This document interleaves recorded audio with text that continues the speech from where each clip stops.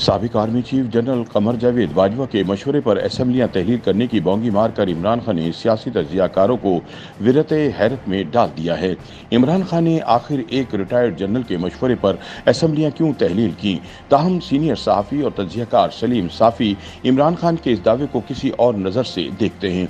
सलीम साफ़ी का कहना है कि इमरान खान का फौजी क्यादत के मशवरे पर पंजाब और खैबर पख्तूनख्वा की असम्बलियाँ तोड़ने का दावा हकीकत पर मबनी है, क्योंकि इमरान खान ने एक जनरल के मशवरे पर पार्टी का ऐलान किया। दूसरे जनरल ने 2010 में लोगों को शमूलियत बिल जबर पर मजबूर करके इनकी पार्टी बनाई। तीसरे जनरल ने इनसे धरने करवाए। चौथे जनरल ने इनसे लॉकडाउन करवाया। जनरल बाजवा, जनरल फैज और जनरल आसिफ गफूर ने इन्हें इकतदार दिलवाया और फिर इनकी हुकूमत चलवाई। सलीम साफी का मजीद कहना है कि इमरान खान ने कभी कोई बड़ा सियासी फैसला किसी जनरल के हुक्म के बगैर नहीं किया। इसलिए शायद वो ठीक कहते हैं कि उन्होंने जनरल के मशवरे पर असम्बलियाँ तोड़ी, लेकिन शायद वो एक जनरल के नाम को दूसरे जनरल के नाम से कन्फ्यूज़ कर गए, क्योंकि जनरल भाजपा तो नवंबर 2022 में रिटायर हो गए थे और सूबाई असम्बलियाँ इमरान खान ने तीन माह बाद जनवरी 2023 में तोड़ी। इसलिए इमरान खान तस्ही करके जनरल के लफ्ज़ के साथ असल जनरल का नाम भी बता दें, जिनके कहने पर उन्होंने असम्बलियाँ तहलील की तो मसला हल हो जाएगा। सलीम साफ़ी मजीद कहते हैं कि अगर इमरान खान मुतल जनरल का नाम बताने से शर्माते या घबराते हैं तो उनका कोई सहूलतकार सहाफ़ी मशवरा देने वाले असल और सहूलतकार जनरल का नाम बता दें।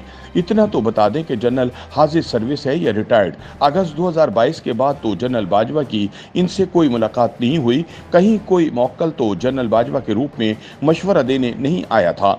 सलीम साफ़ी इमरान खान के दावे पर तबसरा करते हुए मजीद कहते हैं कि इमरान खान पहले कहते रहे कि बाजवा ने इनकी हुकूमत गिराई और अब कहते हैं, बाजवा के कहने पर अपनी हुकूमत गिराई। सलीम साफ़ी ने अपनी ट्विटर पोस्ट में मजीद लिखा कि इंतज़ार कीजिए। एक दिन इमरान खान कहेंगे कि मैंने अमेरिका के कहने पर अपनी हुकूमत गिराई, बल्कि ये भी कह सकते हैं कि मैंने जरदारी या मोहसिन नकवी के कहने पर अपनी हुकूमत गिराई। दूसरी तरफ़, सबक वजी अजम और पाकिस्तान तहरीक इंसाफ के चेयरमैन इमरान खान की जानब से दो सूबों की असम्बलियों की तहलील के मामले पर किया जाने वाला दावा सोशल मीडिया पर भी मौजू बहस है।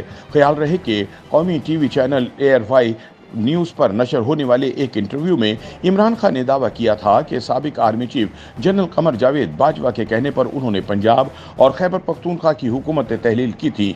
इससे कबल इमरान खान जनरल बाजवा को अपनी मरकजी हुकूमत के खात्मे का जिम्मेदार ठहराते रहे हैं। ताहम उन्होंने जनरल बाजवा के कहने पर सूबाई हुकूमतों की तहलील का बयान देकर एक नई बहस को जन्म दिया है। सोशल मीडिया पर इमरान खान के इस दावे पर सवाल किए जा रहे हैं कि जिस शख्स को मरकज में अपनी हुकूमत के खात्मे का जिम्मेदार जिम्मेदार कहते रहे, भला इसके कहने पर सूबाई हुकूमतों का खात्मा क्यों किया गया? वाज रहे कि इमरान खान के हुक्म पर रवा वर्ष जनवरी में तहरीक इंसाफ की पंजाब और खैबर पख्तूनख्वा की सूबाई हुकूमतें तहलील कर दी गई थी। इस वक्त दोनों सूबों में निगरान हुकूमतें कायम हैं, जबकि सुप्रीम कोर्ट ने पंजाब में इंतबात के लिए चौदह मई की तारीख मुकर कर रखी है। सोशल मीडिया सारिफ डॉक्टर फरिया इमरान खान के दावे को निराली मंतक कहती हैं। उन्होंने एक ट्विटर पोस्ट में लिखा कि एक तरफ़ बाजवा को मीर जाफ़र कहते हैं और दूसरी तरफ़ उनके कहने पर पंजाब और खैबर पख्तूनख्वा की असम्बलियाँ तोड़ रहे थे। वाज रहे कि पाकिस्तान के ऐवान जरी ने 9 अप्रैल 2022 को उस वक्त के वज़ीर अजम इमरान खान के खिलाफ तहरीक अदम एतमाद मंजूर करते हुए उनकी हुकूमत ख़त्म कर दी थी। इब्तदा में इमरान खान की जानब से अपनी हुकूमत के खात्मे का जिम्मेदार अमरीका को करार दिया जाता रहा, जिसकी अमरीका ने बारहा तरदीद की है।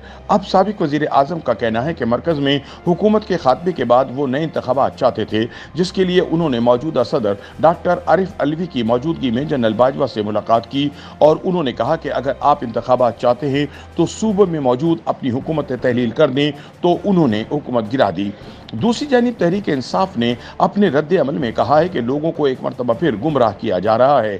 चेयरमैन पी टी आई ने असम्बलियों की तहलील से मुतल हुक्मरान इतिहाद पी डी एम के रहनुमाओं के माजी में दिए जाने वाले तमाम बयान के तनाजुर में बात की थी और ये हकीकत में वैसा नहीं जैसा मीडिया में बाज इदारे से पेश कर रहे हैं। सहाफ़ी हामिद मीर ने इमरान खान के बयान पर तबसरा करते हुए कहा कि हैरत है, किसी ने बाजवा के कहने पर जूनियर जज सुप्रीम कोर्ट में बिठा दिए और किसी ने बाजवा के कहने पर पंजाब और खैबर पख्तूनख्वा असम्बलियाँ तोड़ दी। वाज रहे कि वफाकी वज़ीर कानून आज़म नज़ीर तारर ने हाल ही में एक प्रेस कॉन्फ्रेंस के दौरान सुप्रीम कोर्ट में जूनियर जजेस की तैनाती की हिमायत पर कौम से माफ़ी मांगी थी।